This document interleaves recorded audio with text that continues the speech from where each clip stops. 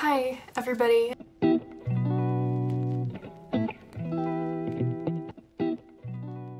Hey, what's up my spaghettis? It's Rachel Jennetti. Welcome back to my channel or welcome to my channel. There are a lot more of you than there were when I left. I wanted to make this video as a little bit of a comeback. I don't know how many people even noticed that I was gone, but I was gone for a while. Partially because the pandemic did take its toll on me, also partially because I was very overwhelmed and there is a lot of things going on at the same time and you're going to see some of those things soon, very, very soon, including one of them in this video. If you know me uh, personally, you might remember that I have always wanted to become a author. Ever since I was a child and I read books like uh, Percy Jackson and Harry Potter, I wanted to be an author just like them and um, have books like my family does. Uh, my brother-in-law is a novelist. His books will be right here and in the description. And I wanted to be just like them when I grew up. And I guess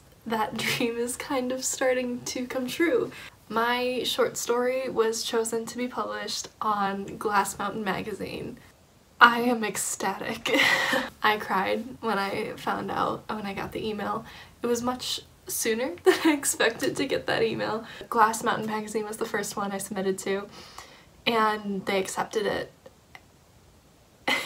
the estimated publishing date is uh, May or June of 2021. Uh, it's likely going to be this summer and I'm going to have an announcement when that's out but I am so happy that you guys are here for this journey. I'm so excited for you guys to read it and I'm very proud of myself in this moment for um, number one having the courage to submit something to a magazine and um, number two being good enough for them to accept it. I'm just very proud that you guys are here and I'm very happy that you guys um, are here to hear this and I hope you guys can share my excitement. I will be coming back very soon. I'm actually editing a video right now for you guys that actually has my first PR deal in it and that's really exciting and I have a lot of exciting things lined up. It's just that I want to take my time with my content so it will be a little inconsistent until I can get into the groove of things. I could not be more happy right now and I'm so happy that you guys are all here with me today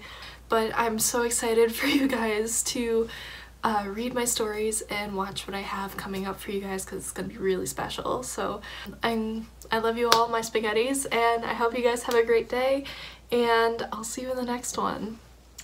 Bye.